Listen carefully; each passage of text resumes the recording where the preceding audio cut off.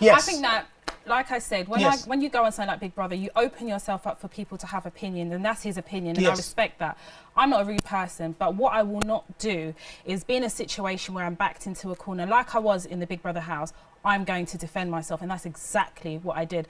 I mean, you know, Marlon being a back, black brother, I don't think it's got anything to do with it. He's a normal person, just Yeah. like Ash, just like Winston, and I treat everybody the same. Um, but in terms of like selling my ex-boyfriend stuff on eBay, everybody needs to just chill out, listen, like I- have fun. Listen, I'll sell my ex-girlfriend's things on eBay when she broke my heart. It's time to pay the bills.